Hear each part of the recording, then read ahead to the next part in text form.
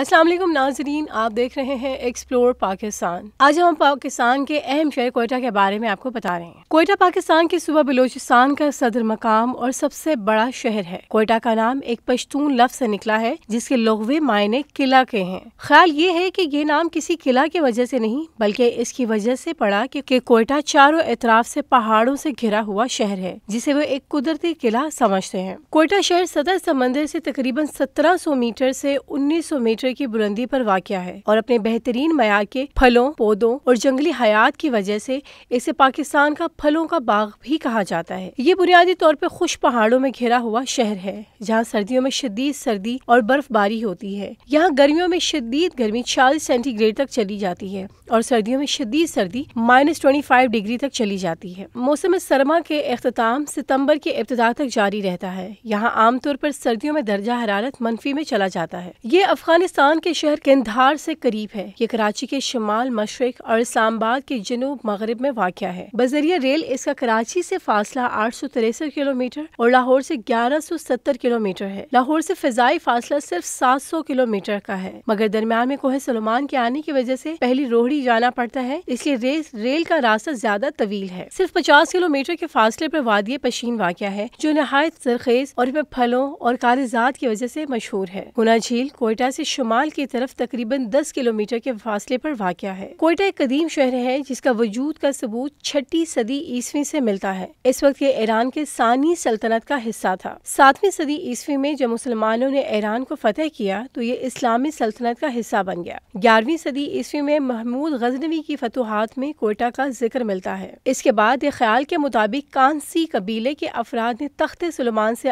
आकर कोयटा में बड़ी तादाद में सकूनत इख्तियार। पंद्रह में मुगल शहनशाह हमायूं जब शेर शाह सूरी से शिकस्त खाकर ईरान की तरफ़ फरार हुआ तो यहाँ कुछ अरसा क्याम किया। और जाते हुए अपने बेटे अकबर को यहीं छोड़ गया, जो दो साल तक यहीं रहा। पंद्रह सौ छप्पन तक कोयटा मुगल सल्तनत का हिस्सा रहा, जिसके बाद ईरानी सल्तनत का हिस्सा बना। पंद्रह में दोबारा शहनशाह अकबर ने कोयटा को अपनी सल्तनत का हिस्सा बना लिया। सत्रह सौ तीस के बाद ये रियासत किल्लात में शामिल रहा। अठारह सौ अट्ठाईस में एक यूरोपीय मुसाफिर के मुताबिक कोयटा के इर्द गिर्द मट्टी की एक बड़ी दीवार थी। जिसे इसने एक किले की शक्ल दी। इसमें तकरीबन 300 घर आबाद थे। 1828 में इसके बाद कोयटा का जायजा लेने के लिए कई अंग्रेज़ मुसाफिर कोयटा आए, जिनका मकसद अंग्रेज़ों को मालूम मुहैया करना था। अठारह सौ उनतालीस में ईस्ट इंडिया कंपनी ने कोयटा पर कब्जा करके बाकायदा यहाँ के इंतजामी अमूर भी संभाल लिए। रॉबर्ट ग्रॉन्सैमन को यहाँ का पोलिटिकल एजेंट मुकर किया। कोयटा मज़बूत मिलिट्री गैरिजन के इर्द गिर्द कायम हुआ। इसे अठारह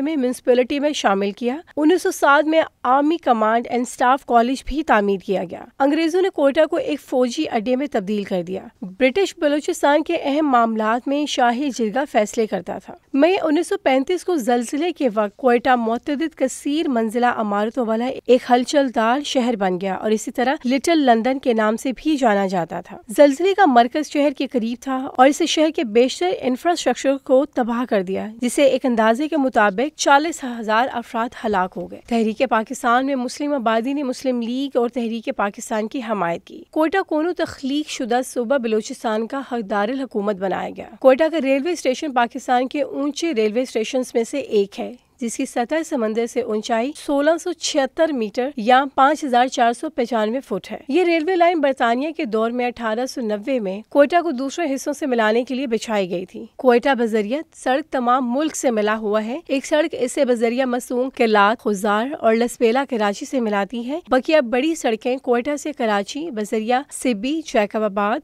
सखर और हैदराबाद और दो सड़कें कोयटा से लाहौर, एक बजरिया, सिब्बी, जैकबाबाद, सखर, रहीम यार खां बहावलपुर, मुल्तान और दूसरा रास्ता बजरिया खानजुई, मुस्लिम बाग, लोराई फोर्ट, डेरा गाजी खां और मुल्तान है। कोटा, अफ़गानिस्तान से बजरिया चमन मिला हुआ है और ईरान से मस्तूम नोशकी, दालबदीन और तफ्तान से मिला हुआ है। यहाँ के चंद मशहूर खाने, दुमपख्त एक बलोची डिश है जो गोश्त के साथ तैयार की जाती है और इसे चर्बी से पकाया जाता है। खड़ी कबाब एक डिश है जिसे बलूचिस्तानी एक पूरी भेड़ या बकरे को आग पर पकाते हैं। आमतौर पर मेमने के पेट में कच्चे चावल होते हैं और इस चावल चावल को भेड़ की चर्बी से पकाया जाता है और भेड़ को आग के ऊपर पकाया जाता है। आप बलोचिस्तान के शहर कोयटा के बारे में जो भी राय रखते हैं, हमें कमेंट में ज़रूर आगाह करें। साथ ही साथ चैनल को सब्सक्राइब करना और बेल आइकन को दबाना मत भूलिए, ताकि आपको हमारी हर आने वाली वीडियो बर वक्त मिल सके। ये वीडियो सोशोन के ताउन से पेश की गई है। सोशोन पाकिस्तान का नेशनल सोशल मीडिया नेटवर्क है। अपना अकाउंट बनाने के लिए सोशोन डॉट कॉम पर जाए या गूगल प्ले स्टोर और एप्पल ऐप स्टोर से सोशोन ऐप डाउनलोड करें और पाकिस्तान का अपना सोशल मीडिया इस्तेमाल करें।